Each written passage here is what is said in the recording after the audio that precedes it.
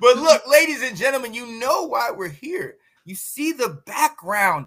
Oh my goodness, I am so excited. This is Let's Talk College Football. And, and uh, real quick, it, it couldn't have worked any better. We talked about this off camera. If you see over in that little corner, there's that little M right up there, that little connector. Oh, yeah. oh my goodness, man! This this is going to be an. Itch. I, I, know you guys are excited about this year. There's a lot going on. Oh yeah. Mm-hmm. And, uh, so top 25. Now, now there is no official top 25 right now, but there have been a lot of people putting out predictions um, and kind of getting us ready for it. Kate sent us what is this uh, through NCAA.com their projection. I'm going to go through real quick just the uh, top about top 10, top 15. So we got right there, their projection is for Alabama at one, Ohio State at two, Georgia, the defending champs, at three, Texas A&M at four, Notre Dame five, Utah six, Clemson seven, Oklahoma State eight, Michigan at nine, and Wake Forest at 10. I mean, let's start there. Top 10 eh, are, are, there any surprises or anything? Like you guys are at nine. How do you feel about you guys being so low? I think we need to be higher. I think we yep. need to be at like at least six at hmm. least six. Yep. Maybe five hmm hmm uh, yeah I, I agree with that i'd put uh, georgia alabama ohio state and texas a&m above us to start mm-hmm. and then I personally think we're better than Notre Dame right now. I do too. I think we're definitely better than Utah. I think we're definitely better than Clemson, especially mm-hmm. the way mm-hmm. Clemson looked last year. I don't oh, think they deserve awful. to be in the top 10. Mm, uh, right. Oklahoma State's a damn good football team, but I I think we're above Oklahoma State, above Clemson, above Utah, and above Notre Dame. So to me, we're five. Right. Right. And, and, but, and you know, we wear these shirts that say Michigan versus everybody, so uh-huh. it's always Michigan versus everybody. Yeah. Yeah, what, what surprised me in my, in my opinion, um, Texas A&M, like I understand what they did a year ago. I understand that they beat um, Alabama, but at the same time, that I thought was a little high for me. I mean, maybe five or six. I wouldn't put you guys maybe over them, but Notre Dame with the new coach, I kind of want to see. They lost uh, some some serious pieces, but they do have baby Gronk. We're going to talk about him a little later at their yeah. tight end position. Yeah. So you know they have some weapons that they can definitely work with. I, I'm kind of fine with them. Utah had a great year last year, you know, and that's yep. why I believe you know they're projected higher. But they have a couple people coming back, but they also had a couple people they lost. So I could see you guys higher, definitely over Clemson and that might be an yeah. ACC bias of mine. Yeah, you guys, Clemson did not show me anything last year. You know, and you lost, lost both your coordinators, right? And they did. So, so did I, we, but any, but that's a different story. But Clemson didn't ball out like they usually do. Yeah. They struggled a they lot. They struggled big time. Yeah, and then it started with their quarterback DJ Uiagalelei. He he just wasn't he just looked like he was kind of shell shocked that time. Yeah. You know what I mean? And and it, you know, in that first game when they played Georgia, I, I was like, oh, is he this bad? But no, we didn't realize Georgia was that good. But then yeah. East also through all, throughout the ACC, like you know, losing to NC State. You know what I mean? Losing right. certain games, it was it was.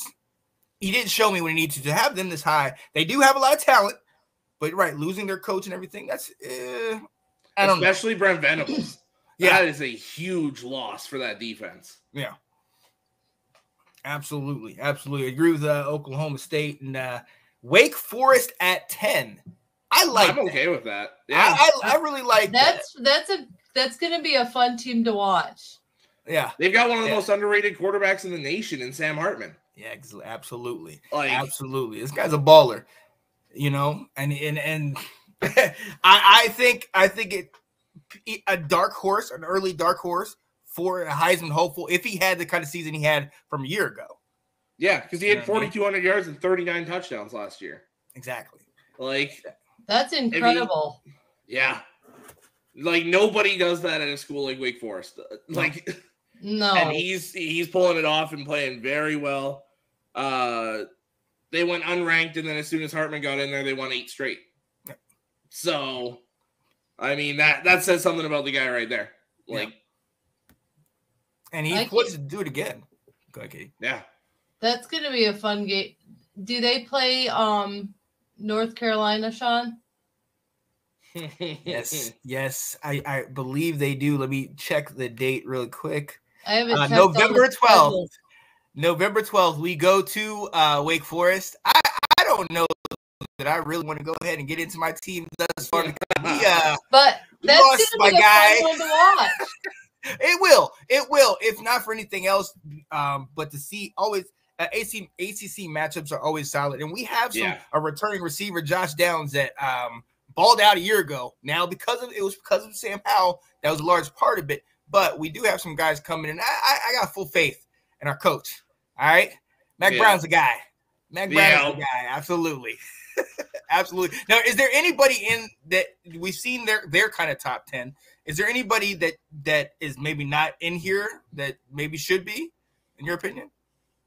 I think Kate's got one that we'll probably both agree on here, but I'll let her throw hers out. Who the who I think should be in the top yeah. ten? Yeah. Oh, I'm looking beyond where they have other teams ranked, mm-hmm. and I'm kind of excited to see what Houston does. Yep, oh, I agree with that. Actually, oh, yeah. Oh, wow. Wow, That's yeah. the one team that I think are going to really surprise us this season. Yeah, I feel like they might run away with that American Conference this year. Mm-hmm. I it's, agree. It's going to be that, either them or Cincinnati. I would mm-hmm. rank them higher. Yep. Yeah. You could, to me, you could also make an argument for Baylor. Right. Uh, yeah. As as much as I hate to say it as a Michigan fan, Michigan State could very there easily. They're they're a top ten team in the nation. If you ask me, like, yeah, uh, yeah, like to me, those two or three teams right there are the the only other teams to me you can make an argument for in the top ten. Yeah. Right. Yeah. Would you would you look at um would you look at an NC State who brings back Leary, brings back a couple of the wide receivers, has uh, you know a top five uh, O lineman? Would, would you look at the NC State and see maybe they go at 10? Uh, yeah, you can make the argument for them at 10. I still like them in that 11 to 15 range mm-hmm. because I think Michigan State's a better team. Uh, Houston to me is a better team, but you could go either way with that one. Yeah. Yeah. Um, but NC State is a very good football team, and they're going to do a yeah. lot of damage this year. I think oh, yeah. NC State has a good chance of being number one in the ACC at the end of the college football season. Ooh, ooh, I like I, that. Ooh, I like that. I like that a lot. I think they're okay. gonna really show everyone what they're made of this season. Yeah. They have they have great talent, a good coach. And yeah. the elephant in the room, North Carolina is probably gonna have a down year. That's why they're gonna do well. Like, like, hey, I'm still a North Carolina guy. All right. Well, Okay, here's my question for you though. What do you consider a down year? Is it because he lost Sam Howell? That's a down year. There it is. There is the answer. I mean, you've got you've got like a top six or seven receiver. Like you there's still we, good talent. You there. still have exactly. a stacked and we, and we actually had top tier recruits yeah. that we've gotten. A number yep. five stars, a couple four stars. So I, we can all we are one of the more underrated teams that does reload um, Absolutely, has, has, that offense, right. has that team going. So, I oh yeah, I definitely think we're going to bring it. But you, come on, Alex, you saw how excited I have been and how excited yeah. I got once I got Sam Howell. It is all that is the interviews. That's the only thing we talked about in the offseason oh, yeah. was Sam Howell. So you know, there it is. Uh, yeah, when that that's a tough player to replace. Sam Howell yeah. was so good at the college. He was level. a very good quarterback. Yeah. Yes, absolutely. Great leader on the field, kept his team composed, and did whatever it took to win. Yeah. And, and yeah, that's the yeah. one thing about losing the college football players is like losing that leadership in the teams and yep. everything. And Sam Howell was a great leader. Yeah, absolutely. Absolutely. So look, so we're gonna go from so about from 15, and they have NC State, Houston. We talked about Arkansas, who uh, a lot of team, a lot of people are kind of talking. I think they're sleeping on Kentucky, another one of those. Iowa, shout out to uh, uh, Ash Swinton. Oklahoma at 20. Yeah. USC, a lot of people think it's going to be a turnaround at 21. 22 BYU. Yeah, right now. Right. Uh, w- Wisconsin at 23, Tennessee at 24, and Cincinnati at 25 on this list. Um, I, I kind of agree with that. I agree with that. USC was one of the teams that that you know has got a lot of talk in the offseason, but let's let's prove it on the field first. You know what I mean? Let's I think how the system works. They have every right to be in the top 25, and it'll yeah. be I'll be curious to see what Lincoln Riley does with that team this season. I have them on my team to watch list. Yeah. Mm-hmm. And I don't usually pay attention a lot to the Pac 12, but I definitely will be making some late night arrangements to stay up and watch some of those games just to oh, see yeah. how well they do. Oh, yeah. Well, you've got one of the better coaches in college football. You've got one of the better quarterbacks. You've got probably the second best receiver in college football this year. Like, they're going to do a lot of damage offensively. It's just when you play these teams like Oregon and Utah in the Pac 12 that know how to score the ball at will. Right. It's going to make the games interesting, but are they going to lose a lot of 45 to 42 games this year? Like, right. Right. Their games are going to be close. I have a feeling yep. that we're going to see a lot of surprises from Lincoln Riley out oh, there. Oh, absolutely. And he's going to turn that program around. And the question yep. will be about his de- about the defense. Yeah. You know what I mean? Yep you know, because they, they, like you said, there's a lot of high, powered offenses going on out there. So it, it's going to be interesting to see. But I, I, think this is the, the right place. I, mm-hmm. I do mm-hmm. want to see what kind of offensive production they do because it's going to be quite interesting with Caleb Williams now. They also got the uh, big name wide receiver Jordan you know, Addison. Jordan Addison, yeah. right at a pit.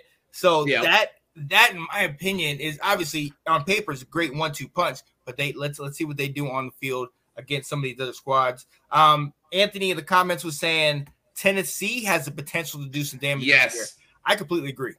I completely agree. Mm-hmm. You know, I, I mean, think I, we can see Tennessee ranked this year very easily. Like yeah, they've got right. one of the better quarterbacks that's available for the draft. Uh, it's not often you see a Tennessee player in the Heisman betting odds, mm-hmm. and Hendon Hooker, their quarterback, is up there a little bit. So yeah, yeah, um, yeah, they could definitely do some damage this year. Yeah, and then he's getting back his top receiver, Cedric Tillman. Yeah, he's a very good. Yards. He's a good receiver. Exactly. So, and and look, I I honestly think that, you know they're in that SEC, which is obviously tough. They had to go up against yeah. a couple of the powerhouses, but I I loved what I saw with Hendon Hooker a year ago with that fast paced mm-hmm. offense, and I do think it. I it, you know they got a couple guys. I I really think they can work it out this year. They need to um to keep pace, but with maybe Georgia being down a little bit. I don't know how far they step back, but I think they can get a they can steal one of those in there. They can steal one of those. And oh, round, yeah, uh, you know, maybe a little. Does that make me crazy? Um, but yeah, I'll so, be curious to see what Wisconsin does this year. I think they're going to be one of those surprises in the Big Ten. Hmm. They're uh, to me at some point this year they will be a top ten team in the nation. Oh, definitely. You got that offensive line, they're always loaded on defense. You've got that young running back, Braylon Allen, coming in, who's gonna. I, I think he's gonna light up the league. Like, oh, uh, definitely. Uh, he's an early, uh, early Heisman contention. I've seen. I've seen yes. a lot of, you know. So yeah. Wisconsin's going to be a very dangerous team. Uh, them and Iowa again for the Big Ten West. Um, it's those two every year. Yeah. I don't really see that changing this year. So which uh, they're looking at shaking up the divisions in the Big Ten. They, they don't should. think they're fair and they're fairly matched. so we'll see what happens there throughout the season if they do it this season or if they wait, if they'll get it done before. But yeah, they're looking at shaking up the divisions in the Big Ten or not even having divisions. Hmm. That would we'll be see. interesting. well, be. so we'll have to wait and see. Yeah, because let's face it, that Big Ten championship game was quite lopsided against Iowa. Michigan, Ohio State was that Big Ten conference. Yeah, yeah, yeah like, it was. You've got four teams in the East that would beat the two teams in the West, in my yeah. opinion. Yeah, and like not in the top twenty-five. A team I'm going to be surprised to see what they do is LSU with Kelly as their coach. Hmm. And Jayden Daniels is the quarterback. They've got two potential top 10 receivers, two potential top 10 corners. Like yeah. there's still talent all over that team. Right. Oh yeah. Well, that's the one team I'm going to be watching too to see what Kelly can do to them because he really was a good coach at Notre Dame. Hmm. I wonder if he might get shell shocked in the SEC though. Oh, He's that's never really in... done well against those SEC teams. So, yeah, a lot of people definitely think that transition is some, sometimes too much for coaches to bear because you know yeah, going right. up against them week after week after week, you know, it can be rough. a lot. yeah, the oh, SEC is a brutal conference in the Power yeah. Five. But, yeah. but, talking about them, I, I you know, I, I, really I think we need to spotlight as um, Kentucky and they're you know yes. they're oh definitely with having Will Levis uh, back, with having that running back uh, Rodriguez. I honestly think they look they were shocking people because they were staying in games. They were up saying knocked out uh, Florida a year ago. Like yeah, they they really played a solid ball, and I I think they might have built on something. Well, you, you, you guys agree on that, or what you think? Oh, I oh, definitely think they have some potential to be dangerous. Definitely. Yeah, like you said, they've got talent all over the board, and again, it's the SEC, so yeah. you know they they'll go beat most teams from other conferences, even though they'll be well, even if they're like fourth, fifth, sixth in the conference, like. And they have a really good running back in Chris Rodriguez Jr. Yes. Mm-hmm. Mm-hmm. Very I'm good forgetting the back. quarterbacks. I'm forgetting the quarterback's name right now, but he's Will Levis. He yes, he's gonna be right up there with some of these top quarterbacks come mm-hmm. draft time next year. No, absolutely, absolutely, and and I and, and he showed it. He showed it in in in, in uh, moments a year ago, and yeah. I think he's going to be able to get it consistently this year. Um, so you know, we'll go ahead. We'll take a look. Um, but outside of top twenty-five, Katie, you mentioned uh, LSU. Mm-hmm. Um, Alex, is there anybody that you're looking at outside of the top twenty-five that you're like, whoo? They might shock us. There's a couple of these Big Ten teams I've been looking at, and there's a couple sleepers that I feel are going to do a lot better than everyone thinks. Mm. And to me, that's Maryland and Rutgers. Hmm. Is Maryland's got Taulia Tagovailoa, yeah. who's a little too backyard footballish for some people. He's entertaining as hell to watch. Mm-hmm. You got two top ten receivers. You got Rakim Jarrett and uh, Dontay Demus. You got good like good offensive line, good defensive line. They're they're gonna scare a lot of people this year. Probably walk away with seven, eight wins and be in be in a good bowl game. Hmm. And then Rutgers is Greg Schiano. He's a he's an amazing college football coach. Yep. Yes, uh, he is. He's building something special there at Rutgers. He he went toe to toe with a lot of those powerhouse Big Ten teams last year. Took them yep. down to the wire. So uh, we were talking about Kentucky and some of those teams maybe stealing a few games. Look for Rutgers to steal some from Michigan, Michigan State, Ohio State, Penn State. Like, look for them to steal at least one of those four. Oh yeah. Oh, I like that. I like that. Katie, what do you think? Um, I also like to follow interstate rivalries that we have, and I think like CMU, like as a MAC school, might surprise a yes. lot of people. They yes Yes. They, I mean, they have a really good coach in McElwain, so I think they're gonna do some surprising things, and we'll see what happens with them because they got a lot of good recruits in the off season, and yeah. so I'm curious to see what good old the good old Chips do. Mm-hmm. Fire up Chips and that Fire Lew Nichols, their running back Lew Nichols, yeah, uh, is, mm-hmm. is, a monster. He he yep. actually led the the country in all purpose yards last year with like what 2100 you know yards and balled out. So this guy plays. He is you know that offense and and hey, in that in the MAC, I think he could do something. I'm, I'm interested to see what they do. Yeah.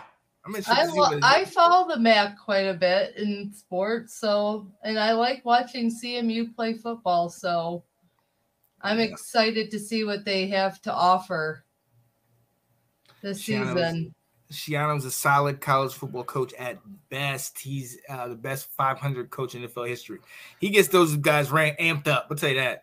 Yeah, and like uh, we can agree to disagree on that because uh, numbers only tell half the story. Yep. Right. Like yep. to me, watching Rutgers compete in games they should have no business being in. Mm-hmm. To me, that's enough to push him up to that next tier. He's not he's like that third tier of coaches right mm-hmm. now in mm-hmm. college football. Like I'm not I'm mm-hmm. not saying he's up there with the Sabans and Kirby Smarts of the world. He's nowhere near those guys. No. But he's definitely that third tier. Like he could be coaching at a much better school right now if he wanted to. Oh yeah. Oh yeah. No. I mean, Alex and I's team lost some big coaches too this season. So mm. we lost our o- offensive coordinator and our defensive coordinator. Yeah. But I like the hires that Michigan did to bring things back together. So coaching yeah. changes can be good. Yeah. Well, and speaking of Gattis going, that was another team, and I saw the comment from Zagnif there. Miami's one that I want to keep an eye on too because Van Mario Dyke. Cristobal, Josh Gattis, you got Tyler Absolutely. Van Dyke there. Absolutely, that, that's going to be a fun team to watch this year. Oh yeah, oh yeah. I, I I love the early Heisman hype, and we will definitely talk about that in just a second. But I absolutely with Cristobal going back there, and we, we saw what he did a year ago over at Oregon, and had you know they upset the team that you guys uh, don't like to name. Uh, did, did, you guys a favor? I was so but, happy that day. Oh, oh I know it. I know it. So so happy. but they, you know, he had, you know, back to back Pac-12 championships. He dominated out there, and then to come back and get the job that he wanted. And the biggest thing about it, and I, I love that, uh, uh, uh Anthony, that you mentioned that Miami with Cristobal being there, the number one thing he did at the spring game, everybody come back. All you, yep. Ed Reed, McKinney, all you guys, everybody come back, get on the sideline, talk to these guys, bring back the you. You know what yes. I mean? Bring back that fire, bring back that intensity, that swagger. And uh I'm excited to see what they do. I I, I think Van Dyke showed some signs a year ago, and uh we know what kind of coach Cristobal is, all business. And uh this next year is gonna show something. Miami's well, always been a fun and exciting team to watch, so I'm excited to see what they do. Mm-hmm. Well, the thing with Cristobal too is, and Miami, Miami's never had a problem recruiting these skill guys, the quarterbacks, never. running backs, receivers, oh, yeah. DBs. The one thing they've struggled to get is those trench guys, the offensive and defensive lines. That's Cristobal's recruiting specialty. Exactly. That's why you saw Penei Sewell and all these other guys from Oregon that are getting drafted and playing well in the NFL. Is Cristobal knows how to scout those big guys. So mm-hmm. uh, Miami can go get all those skill guys, and then Cristobal can work on these big guys. Yeah. Miami can be very special in the next couple years. Could be back to what people used to expect from them. I rem- oh, yeah. I missed them kind of being in the top ten, top five considerations, and yeah, they've always been one of those like lightning fast teams, and you're just like excited yeah. to watch them they had such a swagger. Talk about those 80s teams, early 90s teams. And then that 01 team was arguably one of the greatest teams of all time. I mean, what was it like 17 or 18 players in the first round alone? You know what I mean? Uh, yeah. How many Hall of Famers was on that team? I've owned you know. some Miami Hurricane swagger. Oh yeah, I've had some swag. I would rock the U. I I, I love the. Oh U, yeah, no doubt about it but I, am definitely eager to see what they bring back this season. And and to your point, Alex, for those of you who don't know, Cristobal, I know he's slimmed down now, but Cristobal was on lineman. You yep. know what I mean? He was in the trenches. He was a part of their 89 and 91 national championship teams. He knows what it takes to win. He knows what it, it's like to be a big guy, to be yep. in, you know in the trenches and things of that nature. So I I, I love him being back there, and that's that's oh, something I'm very excited about as far as being in the ACC. So I like. Yeah. The ACC is like going to be fun to watch. Oh yeah. Very fun. Oh Very yeah. fun. Oh yeah. So we will definitely see what is going to happen. Thanks for watching. If you like that clip, be sure to check out the other great content from the Let's Talk Football community. And as always, please like, subscribe, and hit that notification bell so you'll be notified when more great content like this becomes available.